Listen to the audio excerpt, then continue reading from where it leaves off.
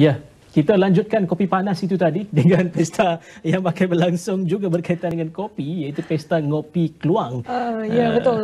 Uh, kita nak tahu apa aktiviti yang bakal diadakan untuk pesta kopi hmm. keluang ini. Kita bersama dengan penganjur pesta ngopi keluang uh, iaitu Puan Mazlin Abu Bakar. Khabar setiap pagi dah minum kopi ya? Dah.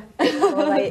Pergi pagi-pagi mesti minum kopi ni. Okey, bakal ya, kan? berlangsung pada hari Kamis ini, hmm. yeah. 20 Disember, yeah. selama enam hari. Yeah. Apa aktiviti yang sememangnya dinanti-nantikan oleh pengunjung? Uh, terima kasih. Uh, pertama sekali, uh, pesta ngopi keluang ni diadakan, diideakan mm-hmm. uh, kerana kita nak mengumpul penggemar penggemar kopi. Mm. Tak kisahlah dia dia minum peminum pembeli, mm-hmm. pemburu mm-hmm. Uh, dan apa saja yang berkaitan dengan kopi, kopi sahaja. Mm-hmm.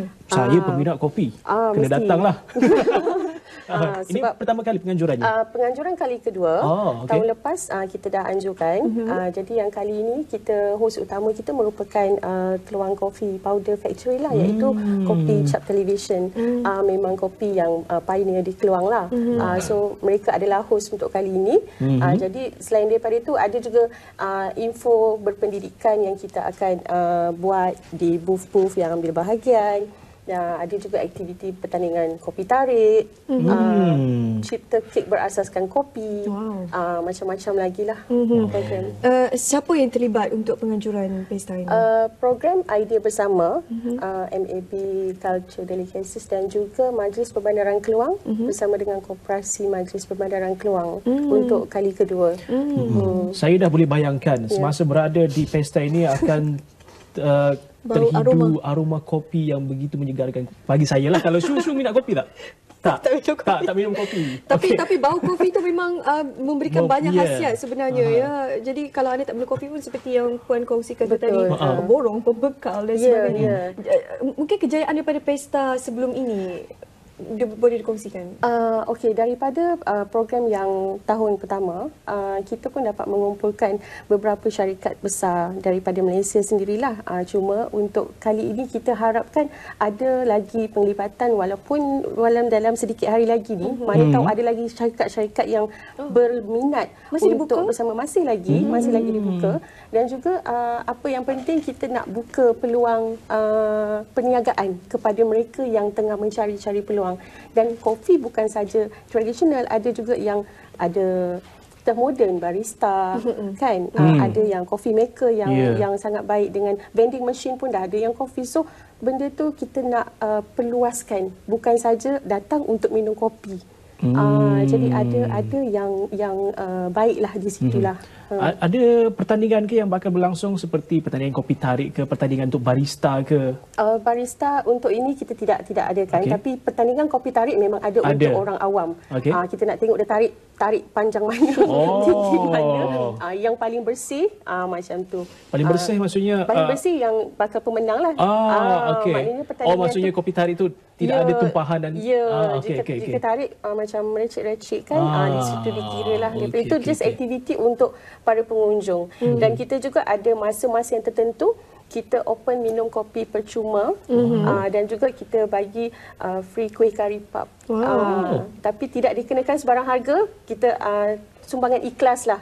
Maknanya daripada pengunjung. Uh, itu salah satu tarikan mm-hmm. yang kita bakal adakan. Pesta ini akan berlangsung di? Dataran Tasik Keluang, ah, Johor. Bagaimana kemudahan di sana? Uh, open area mm-hmm. uh, dan kita akan uh, bermula selepas Zohor uh, waktu pukul 2 sampai 11 malam. Mm-hmm. Uh, setiap hari untuk 6 hari Setiap tu? hari untuk 6 hari itu. Mm-hmm. Uh, uh, kemudian parkir, yeah. Yeah. tandas untuk warga emas. Uh, semua kanak-kanak. semua uh, okey. Mm-hmm. Uh, so far bila kita adakan program di sana pengunjung yang rata-rata ada mereka dah tahu mana area dan kita pun ada yeah, buat yeah. kawalan lalu lintas lah hmm. semualah.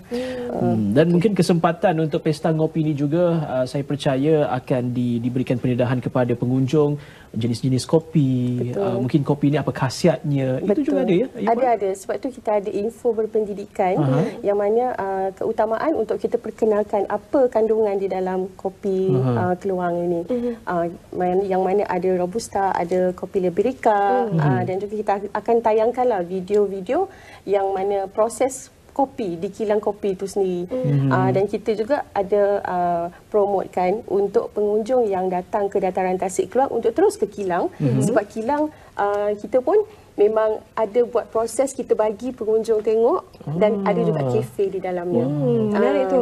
Okey, ada media sosial mungkin boleh kongsikan untuk uh, boleh kita ada page Pesta Ngopi Keluang hmm. uh, dan juga uh, kita hashtag lah Jom Ngopi Kopi Bangsa Johor banyak hashtag oh. kita. Okay. Uh, InsyaAllah bila search boleh dapat maklumat hmm. tu semua. Uh, dan kita pun dah uh, perbanyakkan iklan-iklan di media sosial hmm. uh, untuk makluman kepada uh, penduduk berdekatan dan luar lah ya. seluruh Malaysia kita memang ada, ada penglibatan daripada pihak luar macam dari uh, negeri jiran ke ataupun dari Indonesia ke ataupun uh, khusus uh, pada uh, saya, tempatan saya, saja untuk ini memang kita berada saya kira untuk penganjuran pertama dan kedua uh-huh. uh, seum, uh, pertama ni di Malaysia pesta ngopi ni sendiri kita uh, mulakan di Keluang dan kita pun belum meluas dan mungkin uh, ini akan uh, melibatkan daripada aspek pelancongan yeah. uh, yang mana benda ni macam saya cakap tadi kita bukan hanya tertumpu kepada minuman saja kita akan open uh, kepada kategori hmm. pertanian pelancongan maknanya yeah, yeah. semua aspek yang